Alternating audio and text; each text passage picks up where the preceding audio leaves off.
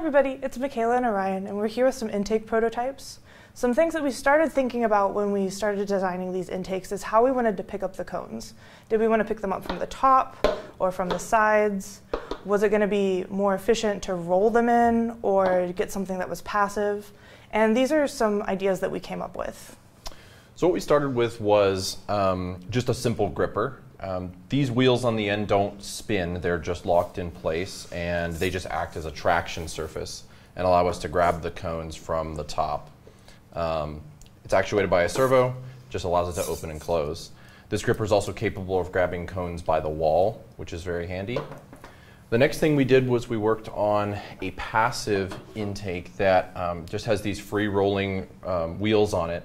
This allows um, uh, the intake to grab cones by a wall using a wall or some other object as a backstop to push the cone into the kind of claw.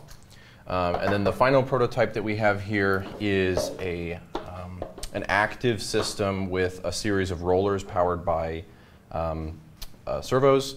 And this goes on the top of the cone and basically slowly rolls the cone in using the opposing wheels and holds onto the cone just with the friction of the wheels. So I hope that these are some good ideas to help get you started on brainstorming for your intakes. Be sure to follow back with us and keep up with our kickoff updates. We'll be posting more videos as the week goes on, and good luck.